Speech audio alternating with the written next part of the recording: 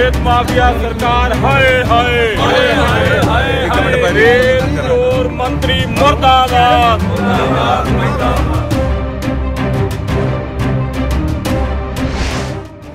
ਪਟਿਆਲਾ ਵਾਲਿਆਂ ਦੀ ਸਾਫ਼ ਰੇਤ ਦਾ ਮਸ਼ਹੂਰ ਸ਼ੋਰੂਮ। ਵਿਧਾਨ ਸਭਾ ਦੇ ਬਾਹਰ ਖੁੱਲਿਆ ਕੈਪਟਨ ਦੇ ਨਾਂ ਤੇ ਰਾਜਾ ਰੇਤ ਸਟੋਰ। ਬੈਂਸ ਭਰਾਵਾਂ ਨੇ ਕੈਪਟਨ ਦੇ ਨਾਂ ਤੇ ਖੋਲਿਆ ਰੇਤੇ ਦਾ ਸ਼ੋਰੂਮ।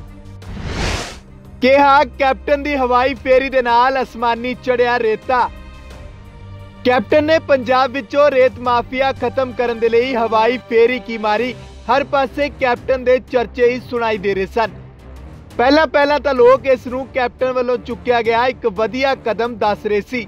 ਪਰ ਹੁਣ ਕੈਪਟਨ ਦੀ ਉਸ ਫੇਰੀ ਨੇ ਲੋਕਾਂ ਦੀਆਂ ਚੀਕਾਂ ਕਢਾ ਕੇ ਰੱਖ ਦਿੱਤੀਆਂ ਨੇ।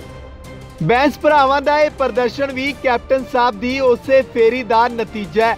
ਲਫਾਫਿਆਂ ਵਿੱਚ ਰੇਤ ਪਾ ਕੇ ਅਤੇ ਹੱਥਾਂ ਵਿੱਚ ਕੈਪਟਨ ਸਰਕਾਰ ਦੇ ਖਿਲਾਫ ਅਲੱਗ-ਅਲੱਗ ਬੈਨਰ ਫੜ ਕੇ ਵਿਧਾਨ ਸਭਾ ਦੇ ਬਾਹਰ ਬੈਂਸ ਭਰਾਵਾਂ ਨੇ ਕੈਪਟਨ ਦੇ ਨਾਂ ਤੇ ਰਾਜਾ ਰੇਤ ਸਟੋਰ ਖੋਲ ਦਿੱਤਾ।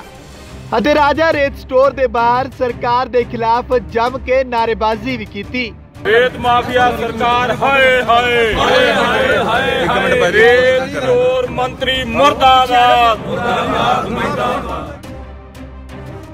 ਇੱਥੇ ਲੋਕ ਇਨਸਾਫ ਪਾਰਟੀ ਦੇ ਪ੍ਰਧਾਨ ਸਿਮਰਜੀਤ ਸਿੰਘ ਬੈਂਸ ਨੇ ਕਿਹਾ ਕਿ ਜਦੋਂ ਦੀ ਪੰਜਾਬ ਵਿੱਚ ਕੈਪਟਨ ਸਾਹਿਬ ਵੱਲੋਂ ਰੇਤ ਮਾਫੀਆ ਨੂੰ ਲੈ ਕੇ ਹਵਾਈ ਫੇਰੀ ਲਾਈ ਗਈ ਹੈ, ਉਦੋਂ ਤੋਂ ਹੀ ਰੇਤ ਦੀਆਂ ਕੀਮਤਾਂ ਅਸਮਾਨ ਛੂ ਰਹੀਆਂ ਨੇ।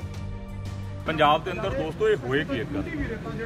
ਕੈਪਟਨ ਅਮਰਿੰਦਰ ਸਿੰਘ ਜੀ ਦੇ ਹੈਲੀਕਾਪਟਰ ਰੇਡ ਤੋਂ ਪਹਿਲਾਂ ਪੰਜਾਬ ਦੇ ਅੰਦਰ ਰੇਤੇ ਦਾ ਟਰੱਕ ਸੀ, ਕਿਤੇ 8000 ਕਿਤੇ 9000 ਕਿਸੇ ਜ਼ਿਲ੍ਹੇ ਦੇ ਵਿੱਚ 10000 ਤੇ ਅੱਜ ਰੇਤੇ ਦਾ ਟਰੱਕ ਕਿਸੇ ਜ਼ਿਲ੍ਹੇ ਦੇ ਵਿੱਚ 38000 ਕਿਤੇ 40 ਕਿਤੇ 42 ਤੇ ਕਿਤੇ 45 ਮਤਲਬ ਕਿ 38000 ਤੋਂ ਲੈ ਕੇ 45000 ਰੁਪਏ ਦਾ ਰੇਤ ਦਾ ਟਰੱਕ ਹੋ ਗਿਆ, ਜਿੱਦਣ ਦੀ ਕੈਪਟਨ ਅਮਰਿੰਦਰ ਸਿੰਘ ਨੇ ਹੈਲੀਕਾਪਟਰ ਰੇਡ ਕੀਤੀ ਕੈਪਟਨ ਅਮਰਿੰਦਰ ਸਿੰਘ ਨੂੰ ਕਿਵੇਂ ਪਤਾ ਲੱਗ ਗਿਆ? ਹੈਲੀਕਾਪਟਰ ਦੇ ਵਿੱਚ ਬੈਠਿਆਂ ਵੀ ਥੱਲੇ ਲੀਗਲ ਮਾਈਨਿੰਗ ਹੋ ਰਹੀ ਹੈ, ਕਿ ਇਲੀਗਲ ਹੋ ਰਹੀ ਹੈ? ਤੇ ਅੱਜ ਇਹਦੇ ਪਿੱਛੇ ਦਾ ਪਰਦਾ ਸਾਫ਼ ਕਰਨ ਵਾਸਤੇ ਜਿਹੜੀ ਰੇਤ ਅੱਜ 45000 ਰੁਪਏ ਦਾ ਟਰੱਕ ਹੋਇਆ, ਜਿਹਦੀ ਬਦੌਲਤ ਪੰਜਾਬ ਦੇ ਅੰਦਰ ਬਿਲਡਿੰਗ ਨਾਲ ਸੰਬੰਧਿਤ ਸਾਰੇ ਕੰਮ ਖਤਮ ਹੋ ਗਏ। ਅੱਜ ਪੰਜਾਬ ਦੇ ਅੰਦਰ ਬਿਲਡਿੰਗ ਨਾਲ ਸੰਬੰਧਿਤ ਕਾਰੀਗਰ ਤੇ ਕਾਮੇ ਵਿਹਲੇ ਹੋ ਗਏ, ਉਹਨਾਂ ਦੇ ਘਰਾਂ ਦੇ ਚੁੱਲ੍ਹੇ ਠੰਡੇ ਹੋਏ ਆ।